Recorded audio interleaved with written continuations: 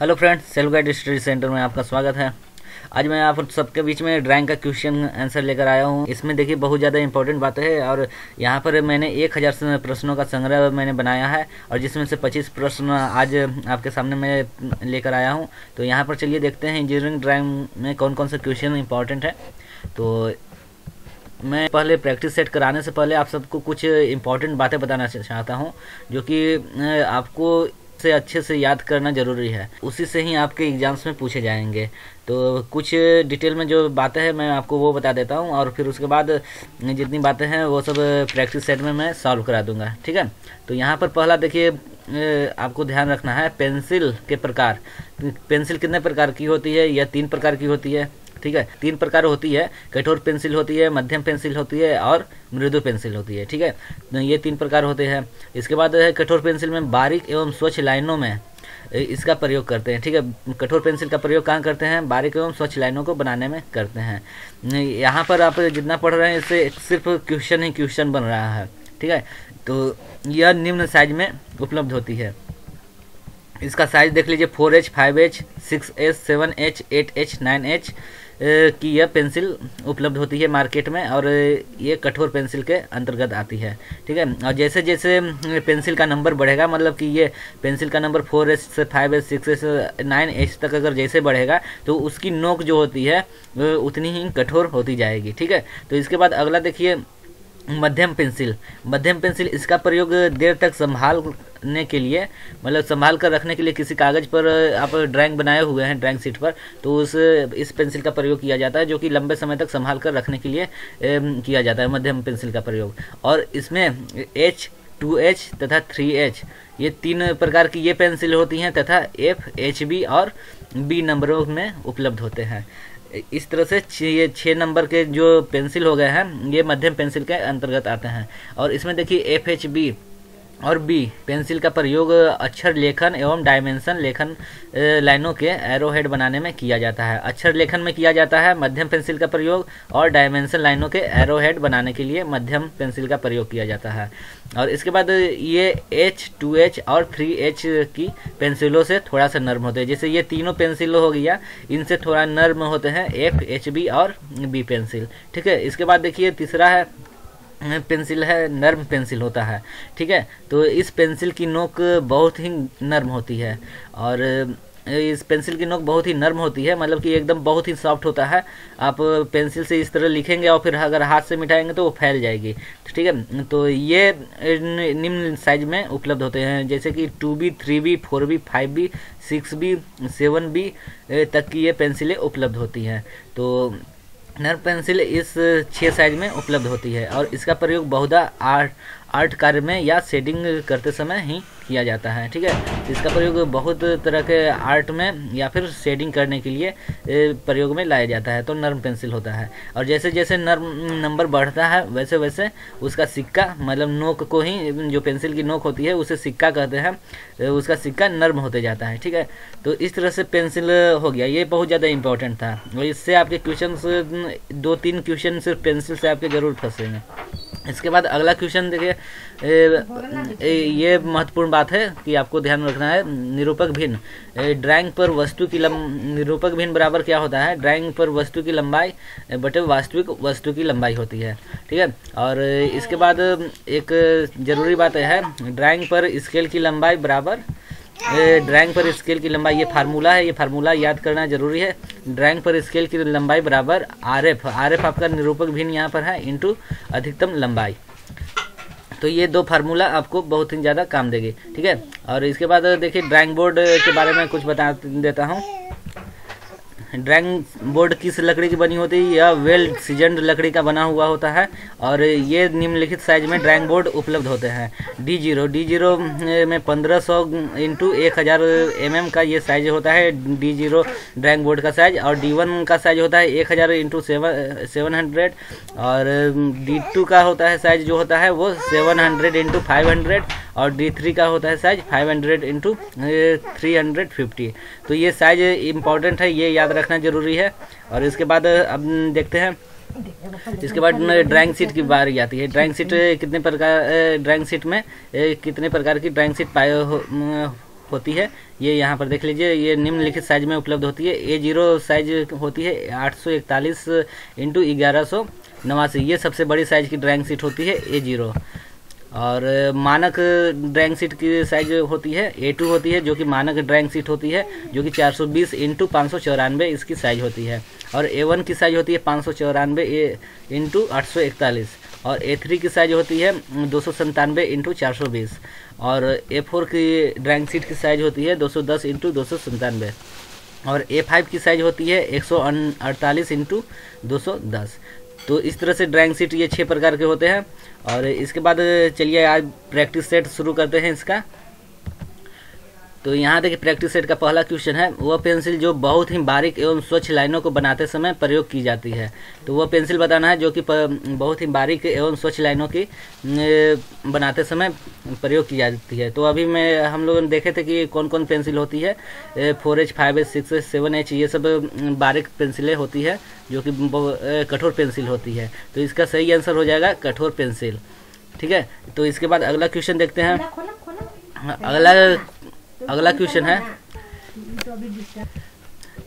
यह दूसरा क्वेश्चन है। यह पेंसिल अधिकतर आर्ट कार के लिए प्रयोग की जाती है। तो कौन सी पेंसिल है जो अधिकतर आर्ट कार के लिए प्रयोग की जाती है? तो आर्ट कार के लिए और शेडिंग के लिए आपने अभी पढ़ा है कि नर्म पेंसिल का प्रयोग किया जाता है। तो ये नर्म पेंसिल इसका सही आंसर हो जाएगा। तो इसके बाद अगला क्वेश्चन है। अगला क्वेश्चन शेडिंग करने के लिए कौन कौन सी पेंसिल प्रयोग होती है? वह पेंसिल जिसका सिक्का जिसका सिक्का क्या होता है? कठोर होता है, नर्म होता है, या फिर कैसा होता है, जिसकी शेडिंग करने के लिए प्रयोग किया जाता है? तो शेडिंग करने के लिए आप जानते हैं, अभी पीछे पढ़ा आपने कि नर्म पेंसिल से ही शेडिंग किया जाता है और आर्ट कार के लिए प्रयोग किया जाता है। तो ये नर्म नर्म पेंसिल जिसका सिक्का नर्म है, वो शेडिंग के लिए प्रयोग किया जाता है। तो इस तरह से तीन क्वेश्चन हो गए। इसके बाद अगला क्वेश्चन देखते हैं अगला क्वेश्चन है स्केल के प्रकार। स्केल के प्रकार है स्केल के प्रकार बताना है कि स्केल के कितने प्रकार होते हैं। तो साधारण स्केल होता है ऑप्शन बी विकर्ण स्केल होता है या वर्णीय स्केल तो उपरयुक्त सभी तो इसका ऑप्शन नंबर डी हो जाएगा। उपरयुक्त सभी, ये तीनों स्केल के प्रकार होते हैं। ठीक है, साधारण स्केल और विकर्ण स्केल और वर्णीय स्केल ये तीनों स्केल के प्रकार हैं। इसके बाद अगला देखते हैं। अगला क्वेश्चन है, पाँच सेंटीमीटर अनुपात एक मीटर की साधारण स्केल खींचो, जो अधिकतम चार मीटर तक मापा जा सके। और तो स्केल पर दूरी को बताओ। तो अभी मैंने पीछे एक फार्मूला बताया था, निरूपक भिन्न में निरूपक भिन्न बराबर क्या होता है? तो निरूपक भिन्न बराबर क्या होता है कि ड्राइंग सीट पर वस्तु की लंबाई बटे वास्तविक वस्तु की लंबाई। तो इसके बटे इतने कर कर निरूपक भिन्न का मान निकालेंगे और फिर स्केल पर इसकी दूरी बताना है। तो निरूपक भिन्न इंटू अधिकतम मान हो जाएगा तो ये स्केल पर दूरी हो जाएगी। तो इस तरह से इसका सही आंसर जो हो जाएगा ऑप्शन नंबर ए हो जाएगा 200 मीटर मिलीमीटर इसकी आंसर आएगी। ठीक है, इसके बाद अगला क्वेश्चन देखते हैं। अगला क्वेश्चन है प्रक्षेप के कितने प्रकार होते हैं? तो प्रक्षेप के, दो प्रकार के प्रक्षेप होते हैं। ठीक, इसके बाद अगला क्वेश्चन है आइसोमेट्रिक व्यू बनाने की विधियाँ है। कौन सी विधियाँ हैं? आइसोमेट्रिक व्यू जिससे बनती है बॉक्स विधि है या ऑफसेट विधि या दोनों। तो या उपरयुक्त में से कोई नहीं। तो इसका सही आंसर हो जाएगा। आइसोमेट्रिक व्यू बनाने की विधियाँ दोनों होती है। बॉक्स बॉक्स विधि के द्वारा और ऑफसेट विधि के द्वारा आइसोमेट्रिक व्यू बनाया जाता है। इसके बाद अगला क्वेश्चन देखते हैं। लंबकोड़ी प्रक्षेप में वस्तु का दृश्य प्रक्षेप तल से कितनी डिग्री पर बनता है? लंबकोड़ी प्रक्षेप जब बना बनाते हैं तो वस्तु का कितने डिग्री पर प्रक्षेप तल बनता है? तो प्रक्षेप तल कितने डिग्री पर बनता है? ये तीस डिग्री पर प्रक्षेप तल बनता है। इसका सही आंसर हो जाएगा ऑप्शन नंबर सी। और साथ ही साथ आप लोग वीडियो को लाइक करते रहिए। और इसके बाद अगला क्वेश्चन देखते हैं। अगला क्वेश्चन है आर्थोग्राफिक प्रक्षेप में छुपी रेखाएँ किस रेखा द्वारा दर्शाई जाती है? तो आर्थोग्राफिक प्रक्षेप में छुपी रेखाएँ किस रेखा द्वारा दर्शाई जाती है? तो इससे खंडित रेखा के द्वारा मतलब कि ये डॉटेड लाइन जो होती है डैश डैश होता है, उसी के द्वारा आर्थोग्राफिक प्रक्षेप में छुपी रेखाएँ खंडित रेखा के द्वारा मतलब डेड डैश रेखा के द्वारा दर्शाई जाती है, ठीक है? इसके बाद अगला क्वेश्चन देखते हैं। अगला क्वेश्चन है एक सीधी रेखा निम्न होती है। कौन सी होती है? अच्छी रूप में खींची होती है, या ऊर्ध्वी रूप में खींची होती है, या दोनों बिंदुओं में खींची होती है, या ऑप्शन नंबर डी दो दिए गए बिंदुओं के बीच की न्यूनतम दूरी होती है। तो एक सीधी रेखा होती है, दो दिए गए बिंदुओं के बीच की न्यूनतम दूरी होती है। ठीक है, इसके बाद अगला क्वेश्चन है यह एक सवाल है, यदि किसी वस्तु की लंबाई 40 सेंटीमीटर को ड्राइंग में 20 सेंटीमीटर की लंबाई से दर्शाया जाए तो निरूपक भिन्न क्या होगा?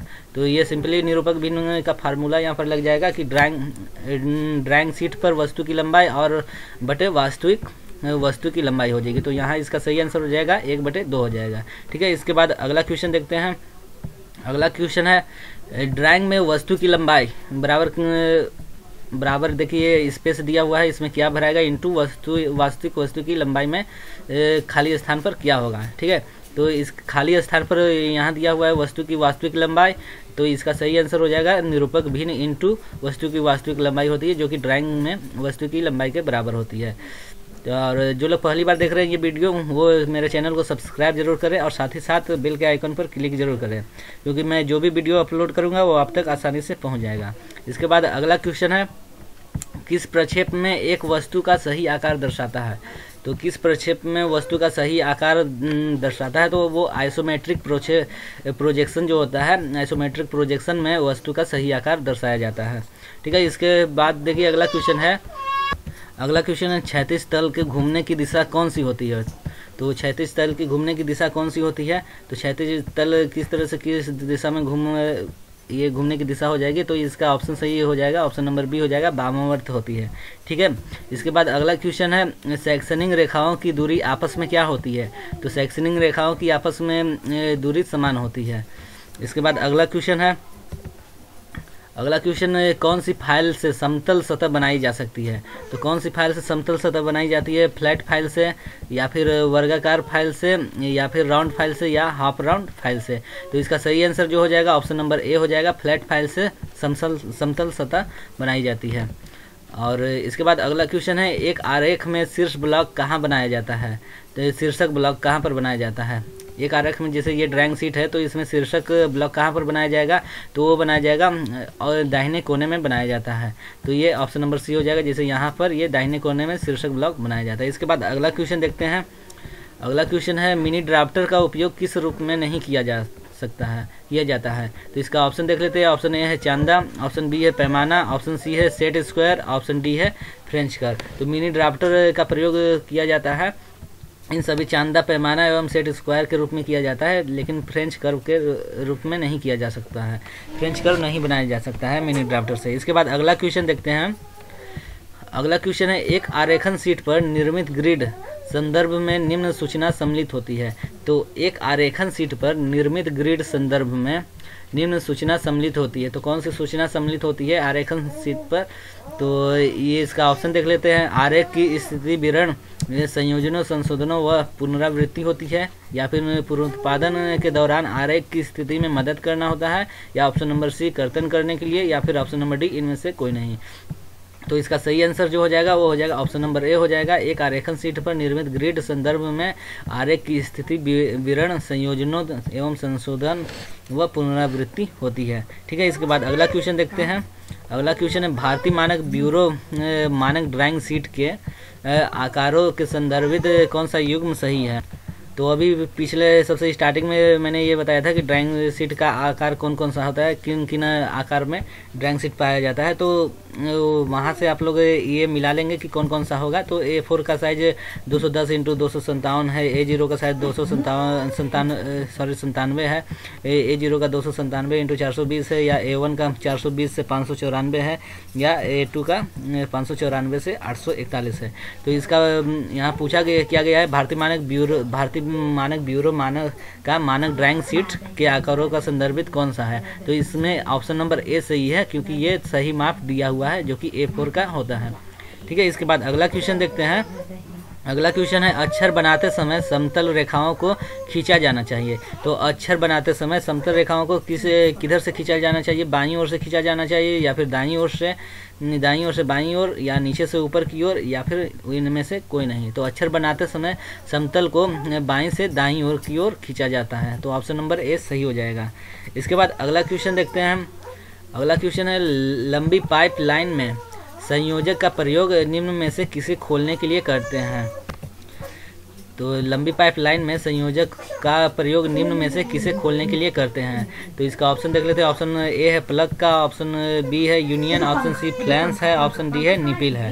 तो इसका सही आंसर हो जाएगा ऑप्शन बी हो जाएगा यूनियन लंबाई पाइप लाइन में संयोजक का प्रयोग निम्न में से यूनियन को खोलने के लिए करते हैं। ठीक है? इसके बाद अगला क्वेश्चन देख अगला क्वेश्चन देखते हैं अगला दिया हुआ है, अभियांत्रिकी रेखा चित्र में कई प्रकार के अक्षर होते हैं। ठीक है? तो A B C D E F G H ये अक्षर किस प्रकार के हैं?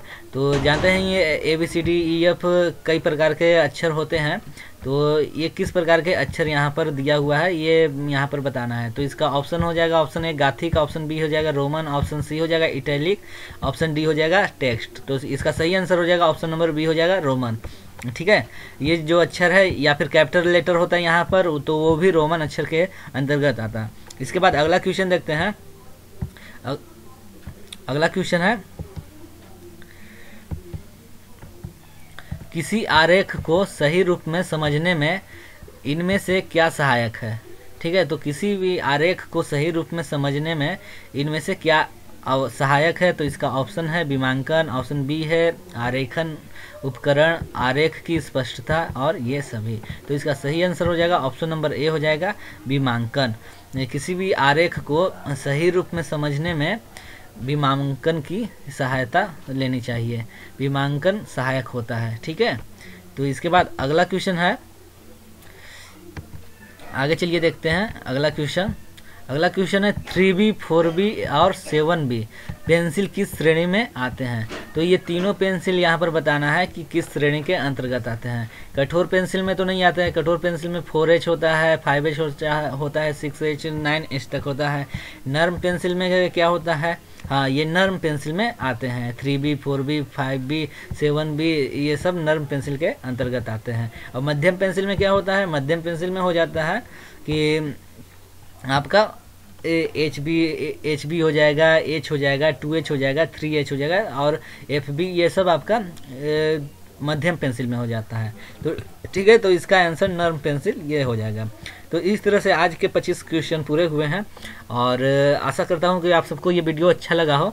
तो आप लोग ज़्यादा से ज़्यादा शेयर कीजिए इस वीडियो को, अपने दोस्तों तक पहुँचाइए, सारे ग्रुप में शेयर कीजिए। और मेरे चैनल को अगर अभी तक सब्सक्राइब नहीं किए हैं तो सब्सक्राइब ज़रूर कर लें। धन्यवाद। अगर मिलते हैं कल अगले वीडियो के साथ।